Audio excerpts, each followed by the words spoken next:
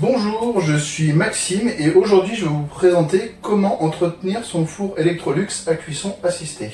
Qui dit entretien dit nettoyage et là pas besoin de se poser de questions. Le four vous informe directement s'il a besoin d'être nettoyé ou pas via un message après un cycle de cuisson. Donc nous allons pouvoir procéder au lancement de la pyrolyse pour un nettoyage du four. Donc on va l'allumer. On va descendre, nettoyage. Bon, j'ai déjà retiré les accessoires du four, mais un petit rappel, ça fait pas de mal. Retirer les plus grosses salissures manuellement, mais moi je n'ai pas besoin puisqu'il est assez propre. Et voilà. Et là, on part sur un mode pyrolyse en mode euh, normal.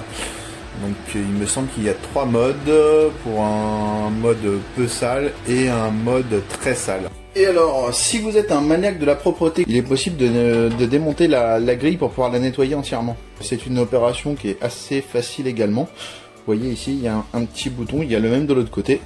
Il suffit de faire une pression de chaque côté, de tirer légèrement, et ensuite la partie envers de la porte peut s'enlever facilement.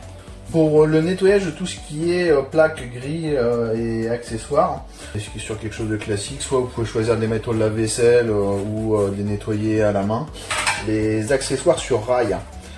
Alors comme bien sûr dedans il y a un roulement à billes avec de la graisse, c'est lave-vaisselle interdit interdit de les plonger dans l'eau, donc pour les nettoyer, il faudra euh, frotter avec une éponge. Bon, j'espère que mes petits euh, conseils euh, nettoyage et entretien vous auront aidé. pour ma part, bah, comme d'habitude, hein, les produits Electrolux, ils sont très faciles à, manipuler, démonter. Vous avez vu avec la, le verre, très très simple. On est vraiment dans la simplicité la plus totale, donc bah, bravo Electrolux.